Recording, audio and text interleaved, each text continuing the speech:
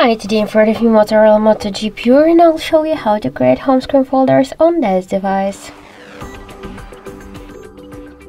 Just to create a new folder, we should hold the Valdi application and drag this up to another one. And by this way, we can see that we just successfully create the new screen folder. Just to give a name or to rename the folder, we should click here once to edit name or to edit the uh, edit name or um, then just enter the new one. And now we can see here that we just successfully changed it. To move folder here on the screen or between the screens we can see that we should just hold the folder and just drag it. And to remove the application from the folder you should hold it and drag the remove icon.